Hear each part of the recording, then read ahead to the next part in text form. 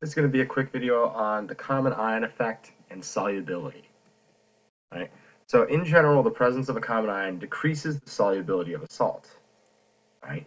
If you have an ion that is in common with a salt, increasing its concentration from another source is going to shift equilibrium to the left side and cause less of that ionic compound to dissolve than under normal conditions. And by normal conditions, I mean just being thrown into you know, regular water. Let's work through a problem in which this concept is the focal point. Uh, we're going to calculate the solubility of silver chloride. So we're going to calculate the solubility in grams per liter. But we're going to do it, instead of in water, we're going to do it in a 6.5 times 10 to negative third molar silver nitrate solution. Right? So the silver nitrate solution is going to have the silver cation. And that's going to be one source of silver, another source of silver could be the dissolving of silver chloride. Right? The presence of the common ion is going to you know, decrease the solubility of the silver chloride, but it's not going to change the solubility product K value, right? Because that's an equilibrium constant. So we're only going to focus on the relevant species in solution, right? It's the silver ions and the chloride ions. The nitrate ions are spectator ions. They're, they're unchanged, they're floating around. We're concerned about the concentration of silver and chloride ions to see how much silver chloride is dissolved. Now, silver nitrate is a you know, very strong electrolyte and it completely dissociates. So all that concentration of the silver nitrate is going to turn into an extra source of silver ions. So because it's a strong electrolyte, we don't have to worry about any equilibrium with the silver nitrate.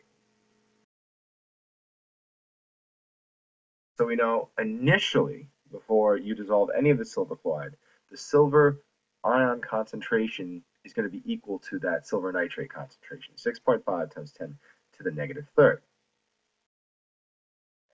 Now, that's the initial conditions. This is not present.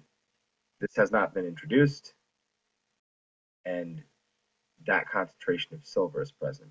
This is going to decrease by some factor of S.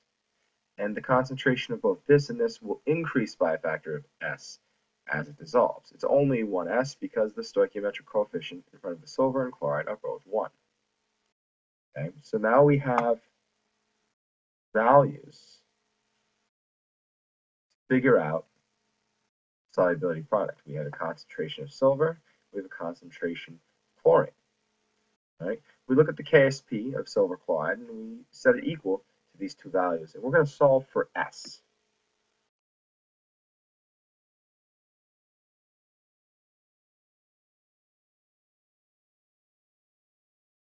So because S is, is, is quite insoluble, in the presence really you know, farther lowers the solubility, uh, we can assume that, just to make our math easier, that this s is so small compared to 6.5 times 10 to negative third, we can omit it.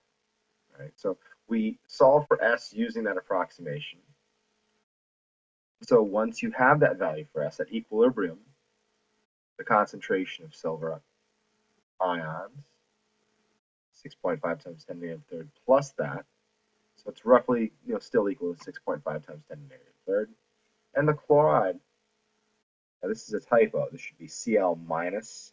That's a typo. Um, that concentration should be equal to S, 2.5 times 10 to the negative 8.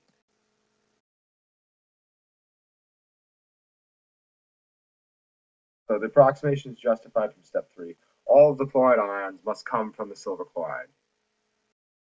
So the amount of silver chloride dissolved in silver nitrate solution is also 2.5 times 10 to negative 8 molar.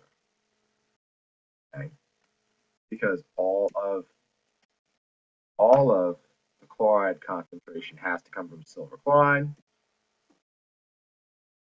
You know that this chloride concentration, chloride solubility is going to be the solubility of silver chloride in that silver nitrate solution. So we take that value of S moles of silver chloride, and we multiply by the molar mass to get the gram solubility in this case. The solubility of that in pure water is 1.9 times 10 to the negative third. And as you can see, in a silver nitrate solution with a common ion, the grams per liter solubility is going to be much less.